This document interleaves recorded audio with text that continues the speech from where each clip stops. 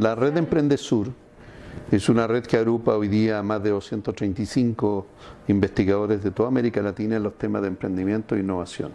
Nació el año 2004 por iniciativa de la Universidad de Luján, que está representada en el directorio de la red por uno de nuestros vicepresidentes, que es el doctor Pablo Cela, y hemos venido haciendo crecer la importancia del emprendimiento y la innovación en todos estos años en América Latina.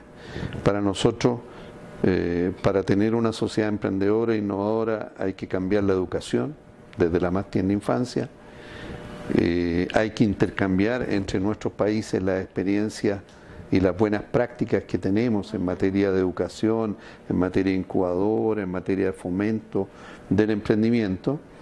Y se nos ocurrió que debíamos crear un espacio de encuentro, que es lo que llamamos el Workshop de Emprende Sur, que ha ido creciendo y que hoy día, después de haber estado en distintos países, realiza su séptima versión aquí en Medellín.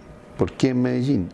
Porque Medellín es un centro mundial de innovación y emprendimiento, ha sido reconocida recientemente como ciudad más innovadora del mundo, eh, está adoptando una serie de decisiones audaces y originales en materia de innovación, como su complejo Ruta N, como algunos programas eh, muy novedosos, y además tiene esta dimensión amplia del emprendimiento, desde los barrios hasta el emprendimiento que uno podría considerar más exitoso. Y nosotros pensamos justamente como red que el emprendimiento está en todos los campos.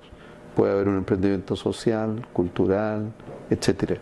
Y creemos que la sociedad del 2050 va a ser mejor dependiendo de la calidad del emprendimiento que desarrollemos y de esa visión amplia que transforme a toda nuestra sociedad en una sociedad emprendedora e innovadora que incorpore no solo a los académicos, que somos nosotros que representamos varias universidades de América Latina, sino que a todos los actores que tienen que ver con el emprendimiento, autoridades públicas, eh, empresarios, emprendedores, etcétera.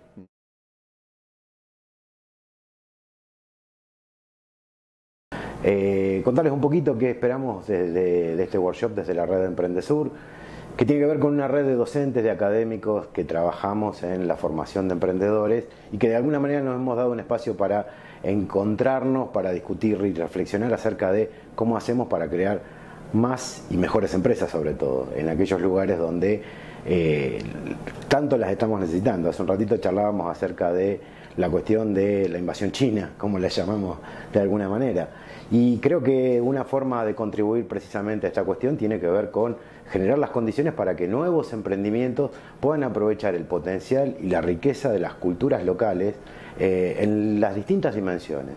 Creo que ustedes el tema de la moda esto lo deben sufrir y lo deben aprovechar a su vez, ¿no? porque el tema de la creación de empresas nuevas tiene una impronta muy propia de raíz local.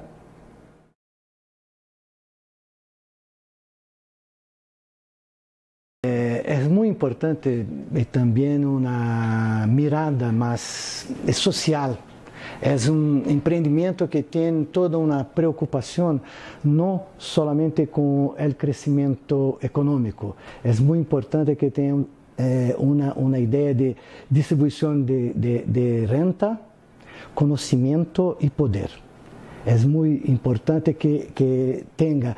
Y, y, la idea de éxito no es eh, y solamente algo que tenga suceso por interés, por alto, alto lucro, alto... No, no. Nosotros tenemos eh, ideas de emprendimiento con egresados del sistema penal, con varios desasistidos, microempreendedores.